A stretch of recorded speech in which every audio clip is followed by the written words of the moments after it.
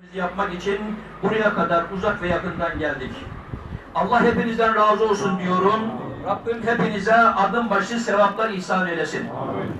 Değerli kardeşlerim, az yaşa çok yaşa, akibet gelir başa dediğimiz ölümü sık sık kullanırız.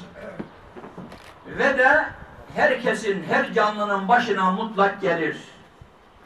Ama biz müminler olarak ölümün bize iyi gelmesini düşünürüz, iyi gelmesini dileriz ve onu isteriz.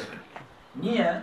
Çünkü Cenab-ı Hakk'a kavuşmaya gidiyoruz. Hayatımızın hesabını vermeye gidiyoruz. Orada Cenab-ı Hakk'ın huzurunda inşallah dileriz Allah'tan ki Rabbim bizleri inşallah mahcup etmez. Bakın Cenab-ı Hak şöyle diyor. Ey kullarım zatımla olan ibadetlerle bana gelin. Ben Rahmanım, ben Rahim'im, ben mağfiret ediciyim, affediciyim, sizleri affederim. Bana kul hakkıyla gelmeyin diyor. Değerli kardeşlerim, işte şuradaki bu teskiye, bu kardeşimizin bilerek veyahut da bilmeyerek belki kul hakkı yemiş olabilir diyelim. Belki bir kimseyi kırmış olabilir, bir kimseyi incitmiş olabilir. Ama biz bu sefer buna diyeceğiz ki Ya Rabbi biz bu kulundan razıyız. Rabbim sen de bundan razı ol diye Cenab-ı Hakk'a yalvarmaya geldik. Dua etmeye geldik. Son olarak görevimizi yapmaya geldik. Ne kadar yaşadı bu kardeşimiz? 79 sene yaşadı. Bakın size gayet kısa bir şey söylemek istiyorum.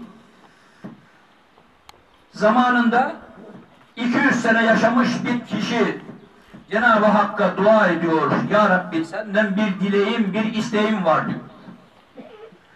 Allah da buyuruyor ki nedir? Bana 100 sene daha ömrüme ilave eder misin ya Rab?